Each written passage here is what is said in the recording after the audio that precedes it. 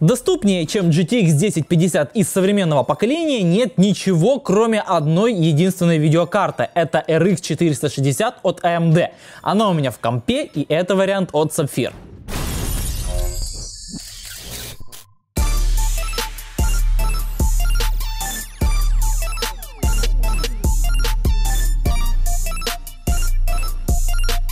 Здорово, что Sapphire наконец-то занялись подсветкой в своих видеокартах. У них есть два разных варианта подсветки. Первый, тот, который мне нравится, это когда подсвечивается надпись Sapphire. Здесь она, как видите, не светится.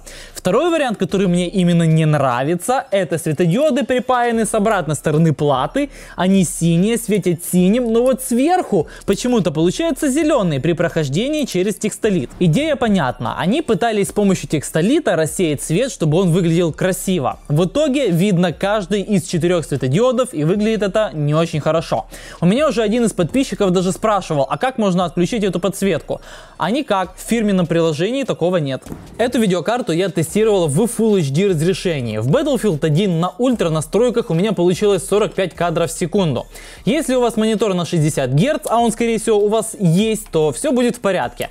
Но для того, чтобы было кадров в секунду больше, то просто делаем высокие настройки и получаем гарантированные 60 FPS. FPS, а пока только 45. В Overwatch на эпических настройках графики и Full HD разрешении получается 56 кадров в секунду, хотя прямо сейчас мне показывается даже больше 60, 66, 70 кадров в секунду. Чтобы вы понимали, эпические настройки графики, они еще выше, чем ультра настройки.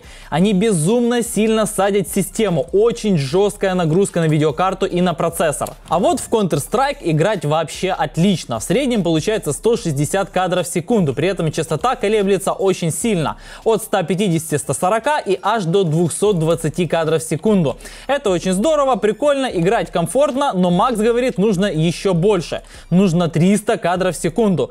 То есть для контрушечки, для комфортной игры нужно покупать 1080 Ti, 8-ядерный Core i7 и 64 гигабайта оперативки. Тогда будет нормально. Когда я играл в Rainbow Six Siege, у меня получилось 63 кадра в секунду. При этом было самые высокие настройки, Full HD разрешение.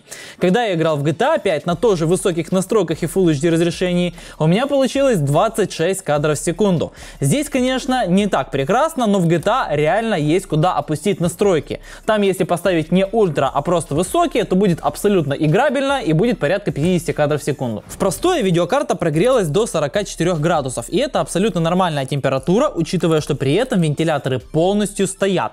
То есть работает только пассивное охлаждение. А вот в играх у меня получилось 78 38 градусов, и это очень высокая температура. При этом всем, что вентиляторы здесь большие, охлаждение избыточное, они могут нормально раскрутиться, но не раскручиваются. Я догадываюсь, что Sapphire это сделали специально для того, чтобы шум не увеличивался.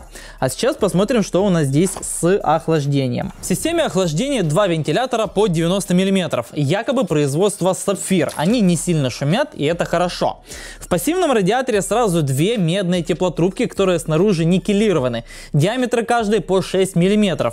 При этом есть пластина посредник для того, чтобы эти теплотрубки нормально покрывали контактом весь чип. Охлаждаются еще и чипы памяти с помощью металлической пластины и теплопроводящих прокладок. Плюс есть крохотный радиатор на мосфетах. Дроссели не трогают. Я думаю, что покупая эту видеокарту, вы заранее готовитесь к тому, что вы будете играть либо на высоких настройках, либо на средних, но точно не на ультра. Либо будете играть в что что-то по типу Counter-Strike либо Dota.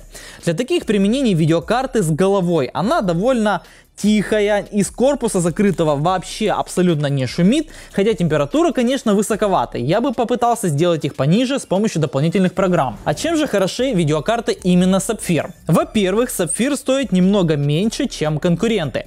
То есть, например, вот эта 460 стоит меньше, чем другие 460, например, от MSI либо от Asus. А во-вторых, недавно вылезла очень интересная информация, точнее это топ по отказоустойчивости железа. И этот топ возглавляет компания Sapphire. Внезапно их видеокарты отказывают в работе намного реже, чем конкуренты. В обзоре я не говорил про некоторые характеристики этой видеокарты, точно так же, как и про конкретную цену. Все это можно узнать у нас в интернет-магазине по красивой аннотации слева от меня.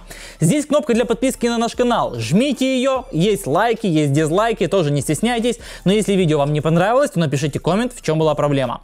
Меня зовут просто Руди, мы с вами, друзья, обязательно увидимся. Всем до встречи в следующих обзорах и пока. Bam!